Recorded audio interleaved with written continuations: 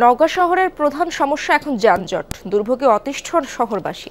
সংকট নিরসনে দীর্ঘদিন পর আশার আলো দেখাচ্ছে সড়ক বিভাগ। মেগা প্রকল্পের আওতায় প্রধান সড়কটি চার লেন করার প্রস্তাব অনুমোদনের অপেক্ষায় বলছেন সংশ্লিষ্টরা। শফিক ছোটনের রিপোর্ট ছবি তুলেছেন সিয়াম শাহরিয়া.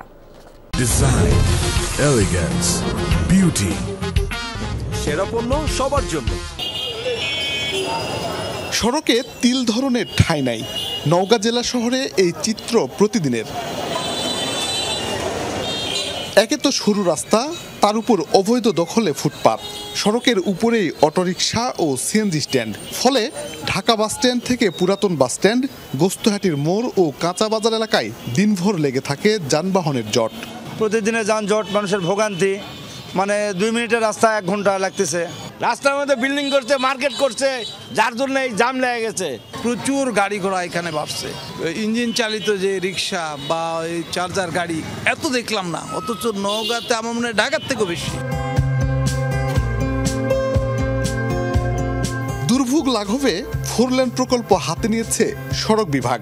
সান্তাহার মোড় থেকে চৌমাশিয়া পর্যন্ত ষোলো দশমিক পাঁচ কিলোমিটার সড়ক একশো পাঁচ ফুট প্রশস্ত করা হবে। প্রকল্প ব্যয় ধরা হয়েছে প্রায় সাড়ে বারোশো কোটি টাকা।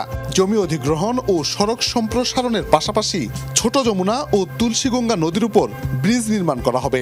এছাড়া কালভার্ট, ফুটওভার ব্রিজ, যাত্রী ছাউনি ও পুলিশ বক্স সহ আধুনিক সড়ক ব্যবস্থা গড়ে তোলা হবে, জানান কর্মকর্তারা। যদি প্রকল্পটা পাস হয়, তাহলে নগা শহরের যানজট এবং জীবনযাত্রার মান অনেক স্বাভাবিক হয়ে আসবে। আর এই প্রকল্পটা আমরা অলরেডি প্রেরণ করছি, এখন এটা প্ল্যানিং কমিশনে আছে। এটা সবুজ পাতায় উঠে গেছে অলরেডি প্রকল্পটা। আশা করছি যে অথবা অল্প সময়ের মধ্যে পাশ হয়ে যাবে। দীর্ঘ প্রত্যাশিত প্রকল্পের কাজ আগামী অর্থ বছরে শুরু হবে। শেষ হবে দুই হাজার ত্রিশ সালে। অগ্রাধিকার ভিত্তিতে প্রকল্প বাস্তবায়নের প্রতিশ্রুতি দিচ্ছেন স্থানীয় জনপ্রতিনিধি।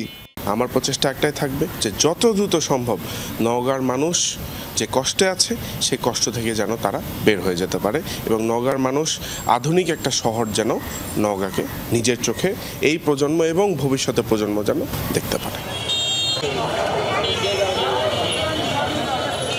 এই সড়কটি সম্প্রসারণ আর ফোর লেন করা হলে নওগাঁ শহরের চিত্র পাল্টে যাবে। তবে জমি অধিগ্রহণ আর স্থাপনা অপসারণ করাটাই এই প্রকল্প বাস্তবায়নের বড় চ্যালেঞ্জ। সেক্ষেত্রে স্থানীয়দের সহযোগিতা করার আহ্বান জানিয়েছেন সংশ্লিষ্টরা। শফিক ছোটন, যমুনা নিউজ, নওগাঁ।